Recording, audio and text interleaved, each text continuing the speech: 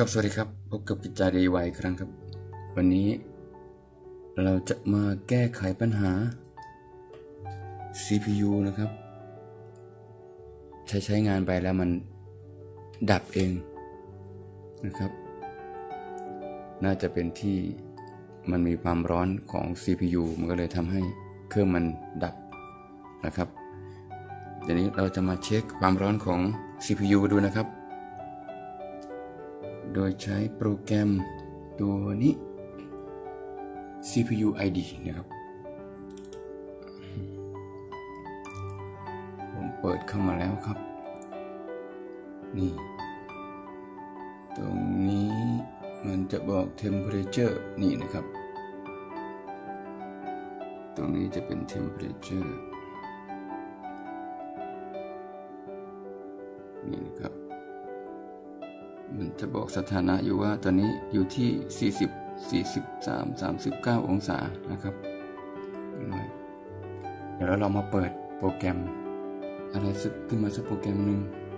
นะครับว่าความร้อนมันจะสูงขึ้นไหมนะครับ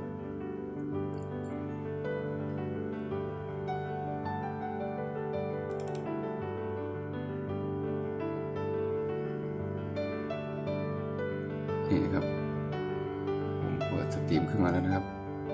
อุณหภูมิขึ้นมาที่ 51 52 60 นะครับ ครับ เดี๋ยวเราจะมาเปลี่ยนตัวซิลิโคนของตัวเจ้า CPU นะครับ แต่ก่อนอื่นเราจะต้องถอดตัวฮีทซิงนี้ออกก่อนนะครับ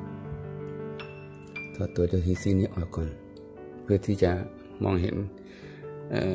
CPU อยู่ใต้ฮีทซิงนี้นะครับแบบแรกเราก็ถอดสายไฟมาก่อนเลยครับ นี่นะครับ อันนี้เป็นปลั๊กสายไฟ ของตัวฮีทซิงตัวนี้นะครับดึงขึ้นมาเลยครับ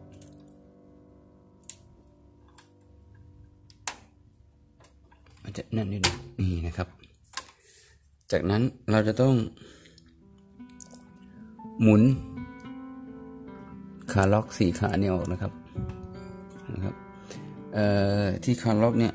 มันจะมีลูกศรบอกอยู่นี่นะครับ ทิศทางการหมุน เราต้องหมุนให้มันไปทางที่ลูกศร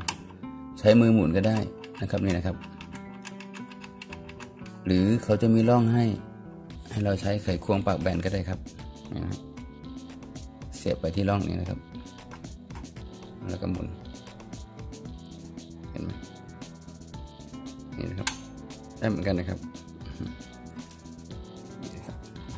หมุนนี่หมุนให้ดังแก๊กนะครับ นี่นะครับจากนั้นเราก็ยกฮีซิงออกนะครับอาจจะติดนิดนึงนะครับนี่นะครับ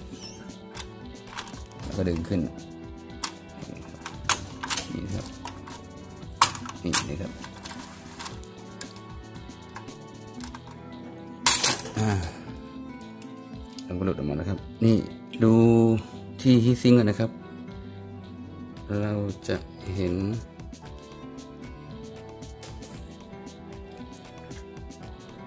นี่ครับ เป็นซิลิโคนนะครับใช่ไหมฮะเป็นซิลิโคน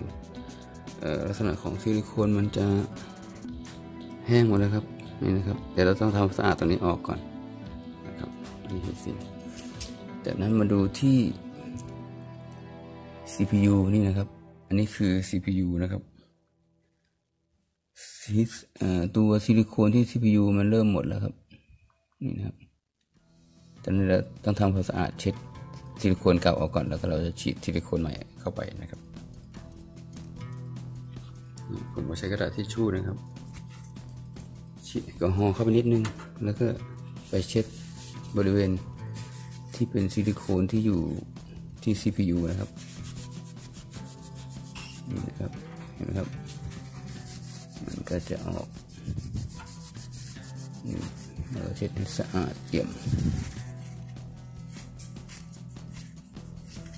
นี่เราเอาซิลิโคนของเก่าออกก่อน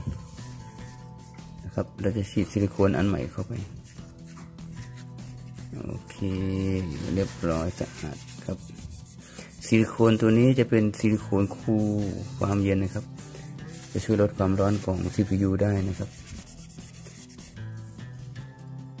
มันเป็นซิลิโคนที่ใช้กับ CPU โดยเฉพาะนะฮะ หาซื้อได้ตามร้าน ขายวัสดุของคอมพิวเตอร์นะครับ หรือสินค้าออนไลน์ก็ได้นะครับหลังจากที่เราทำสะอาดซิลิโคนเก่าออกแล้วเนี่ย เราก็จะใช้ซิลิโคนตัวใหม่เนี่ยหยอดเข้าไปตรงกลางเลยครับ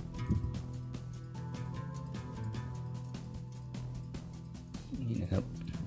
ประมาณนี้นะครับ ประมาณนี้ จากนั้นเราก็จะเอาตัวฮีทซิงตัวนี้ครับ วางประกบเข้าไปเหมือนเดิมนะครับ แต่ก่อนที่เราจะเอาฮีทซิง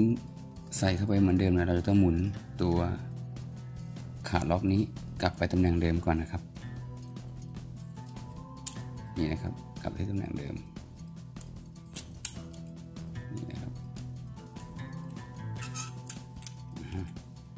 พื่อที่เวลาเรากดเข้าไปแล้วมันก็จะล็อกโดยอัตโนมัตินะครับนี่นะครับจากนั้นเราก็จะเอา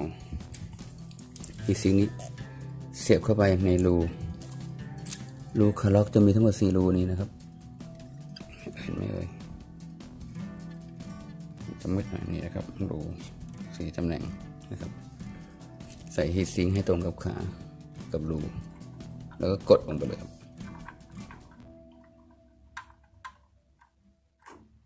นี่นะครับเล็งให้ตรงก่อนนะครับอย่าเพิ่งกด ครับพอเราวางตรงรูแล้วเราก็กดตัวขาดล็อกนี้เข้าไปนี่นะจากนั้นเราก็เสียบสายไฟของตัวฮีทซิงที่ขาปลั๊กเนี่ยมันจะมีเขียนอยู่ว่าเป็น CPU fan นะครับ เสียบตรงช่อง CPU fan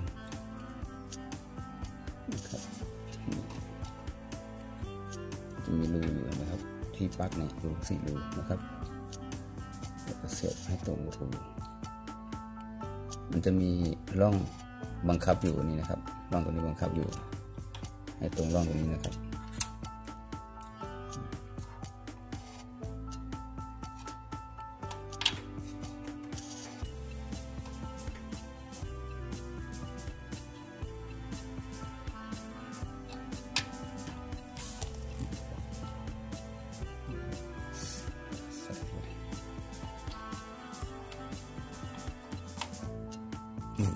เคเป็นอันเรียบร้อยครับ แค่นี้ ก็เสร็จเรียบร้อยนะครับเช็คแรมด้วยนะครับ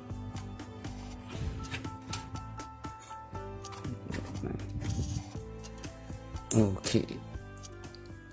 แค่นี้เราก็ใส่ตัวซิลิโคน CPU เรียบร้อยแล้วครับ ใช้งานได้ตามกดปซักบติสไครกันสักนิดก็ขอจบคลิปวิดีโอ การนึกเติมว่าช่วยซิลิโคนชีวิต CPU ไว้แต่เพียงเท่านี้นะครับอย่าลืมกดไลค์กด subscribe ด้วยนะครับ